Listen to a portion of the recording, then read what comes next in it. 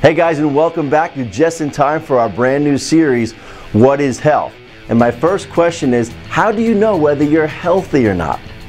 Now, most people will answer that question by saying, I know I'm healthy because I feel great or I don't feel sick. And I'm here to tell you that it's not about how you feel as much as how you function. As a matter of fact, the World Health Organization defines health as a state of optimal physical, mental, and social well-being and not merely the absence of disease and infirmity. And Webster's defines it as a state of wholeness in which all organs are functioning 100%, 100% of the time. Health is not about how you feel, but it's how you function. You see, thousands of people die of heart attacks every year. Now, many times, a heart attack is the first symptom of heart disease, and many of those people don't make it. And those people that do will tell you that most of the time, they had no idea that they were sick. They didn't feel anything prior to the heart attack. Now, let me ask you a question. Moments before that heart attack, when they didn't feel anything, were they sick or were they healthy?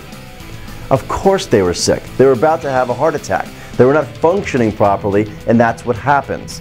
You see, waiting for a symptom to appear is not a really good idea. As a matter of fact, many of the times, it's the end stages of a disease. You want to take care of yourself before that happens. Getting healthy is a process.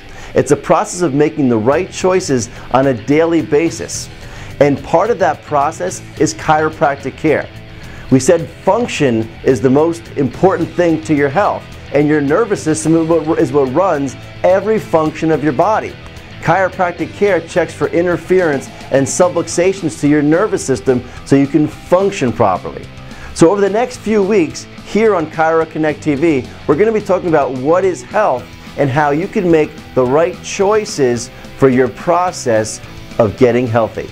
We'll see you next time.